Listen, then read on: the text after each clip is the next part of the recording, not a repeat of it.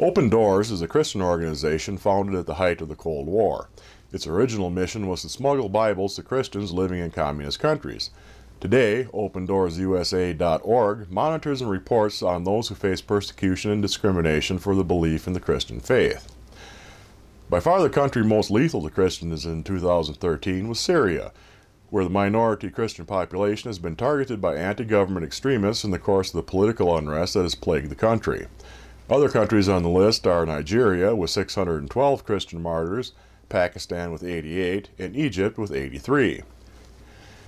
In its report, Open Doors USA makes the following claim Islamist extremism is the worst prosecutor of the worldwide church.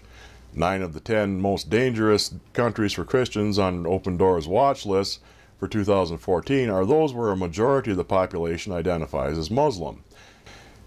At the top of the list, however, where it has been since Open Doors USA began keeping track of the numbers, is North Korea. Open Doors admits not having solid numbers on Christians martyred by the Socialist Republic. Instead, they base their determination on the fact that practicing Christianity is illegal in North Korea, which espouses its own state religion focused on worship of the politically powerful. The report estimates that between 50 and 70,000 Koreans identified as Christians were or are held by the North Korean government as political prisoners for their beliefs. On January 12th, Pope Francis announced the names of 19 archbishops from around the world whom he has selected to join the College of Cardinals in Rome. Of the 19 men, 16 are eligible to vote for Francis's successor, and only four are Vatican officials. As many pundits expected, Francis has made some unexpected selections. The elector from the African nation of Burkina Faso, Archbishop Philippe Ouedraogo, expressed surprise, saying that he thought there had been a mistake when he was called by the Vatican to become a cardinal. The Pope passed up several European archbishops and selected no Americans, opting instead for archbishops from a wider range of countries, including South Korea, England, Haiti, Chile, and Canada. In Haiti, the papal announcement of Bishop Chibly Langlois, the youngest appointee, came four years to the day of the earthquake that took the lives of an estimated 300,000 Haitians. Today we are marking four years since the earthquake, said Father Hans Alexander in Haiti, adding that the diocese is immensely touched at the Pope's compassion for the poor. The choice in cardinals is reflective of Pope Francis's mission to refocus the Catholic Church on the global plight of the destitute and marginalized, as well as to guide it back to the core foundation of beliefs in service, humility, chastity, tolerance, and community outreach.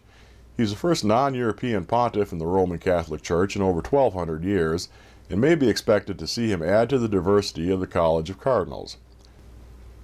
Consistory, the Vatican ceremony officially elevating the 19 archbishops to the status of cardinal, is scheduled for the 22nd of February. The Satanic Temple, a New York-based online organization, has released concept art for a monument it wants to donate to the state of Oklahoma for display at the Capitol building. In 2012, the Oklahoma State Legislature authorized the placement of a monument to the Christian Ten Commandments near the steps of the Capitol building in Oklahoma City.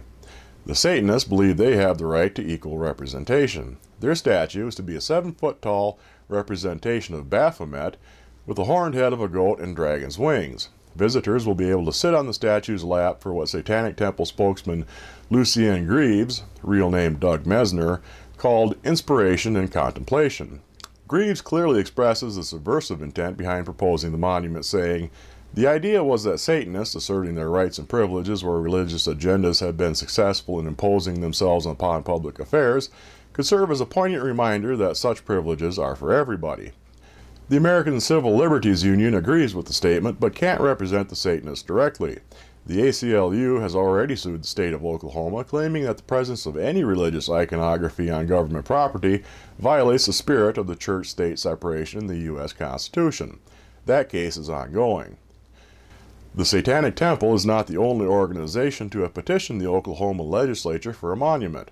An animal rights group, a Hindu leader in Nevada, and the Church of the Flying Spaghetti Monster have all requested their own monument at the Capitol building.